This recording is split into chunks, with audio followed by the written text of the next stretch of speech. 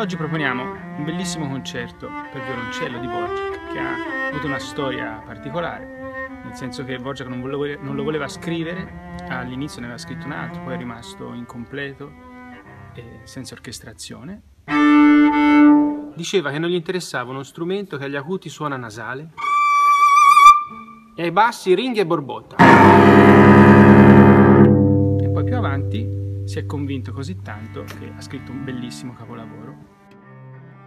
Lo sentirete interpretato da uno dei più grandi violoncellisti del mondo, fa una magistrale interpretazione, veramente molto coinvolgente, che è Geringas.